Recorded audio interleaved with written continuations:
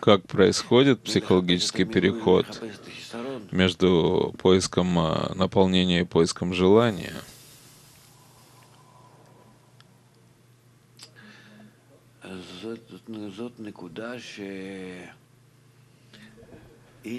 Это точка, которая называется переходом из зло лишма в лишма.